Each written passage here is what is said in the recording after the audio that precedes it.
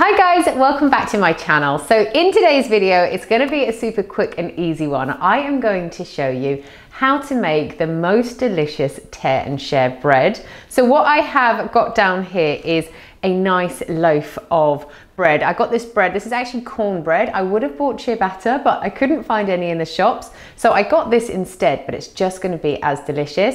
But if you can get ciabatta, then I would say that works best. So you wanna make sure you get a nice fresh loaf of bread because that way it's going to make this recipe taste even better. So I've got a nice bit of bread.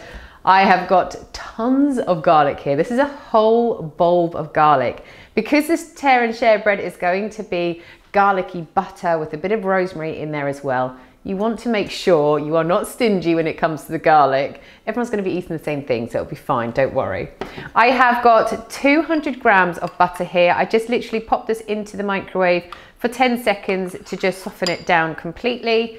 And then I have got 250 grams. This is not a healthy recipe. It's not healthy at all, but it tastes delicious. This is 250 grams of Parmesan cheese. And then finally, I have also got some dried rosemary. You can use fresh or dried, completely up to you. I do just find, because I'm using a pestle and mortar, I do just find that the dried rosemary just sort of breaks up a little bit better. So what I'm gonna start off by doing is getting my million cloves of garlic and I'm gonna crush them into my pestle and mortar. So I'm going to crush them using my garlic crusher straight into my pestle and mortar. Everyone actually asks me where this garlic crusher is from. This is made by Joseph Joseph. It is such a good garlic crusher. It's probably the best one I've ever used. I'll link it down below in my description box because I do get asked about it quite a lot. That is a lot of garlic there, but smells amazing. I just love garlic so much. Right, next up, I'm gonna get my rosemary. I think rosemary and garlic and butter just go really, really well together. So I've got that in my pestle and mortar. I'm just gonna add a tiny little bit of oil and then I'm gonna get crushing.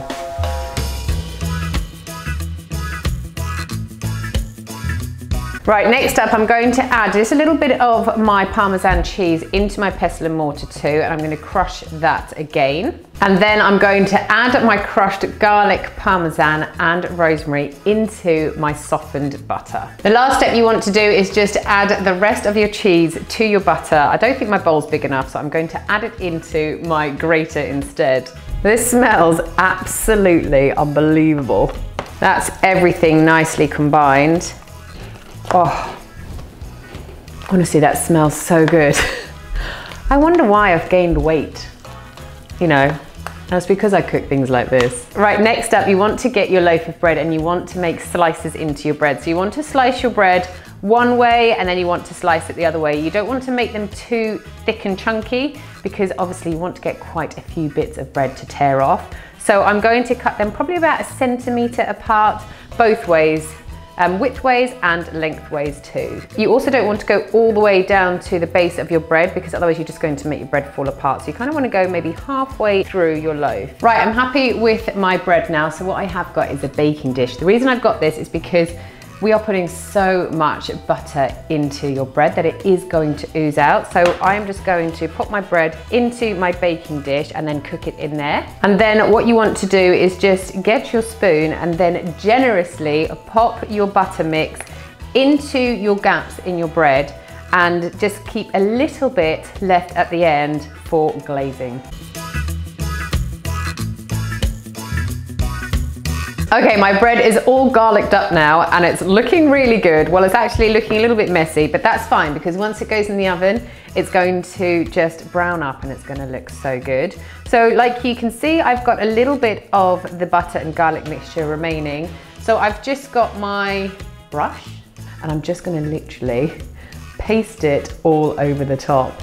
I told you this was not gonna be healthy, but for the amount you actually are going to have as it's a tear and share bread, absolutely fine. This is a great thing to just put in the middle of the table when you've got guests over and it will go with the majority of meals that you're going to be serving. And like I said, it is just absolutely delicious. Last thing you want to do is just get yourself some salt and put a really generous amount ground over the top. I just feel garlic and salt with any meal really, really complement each other well. This is now ready to pop into the oven. I'm going to put it on the oven at 180 degrees centigrade for 20 minutes. That's gonna make sure your butter melts through so nicely, but also that your bread is going to soak up all those lovely flavors and moisture too. After 20 minutes, as you can see, your bread comes out looking absolutely delicious. It's got a nice golden brown color on the top and it's just completely oozing with yumminess. All that's left to do is just tear a little bit off and enjoy. Thank you so much for watching today's video. I really hope you enjoyed it. Let me know if you give this recipe a try and what you think of it. And I will see you guys again next time. Bye.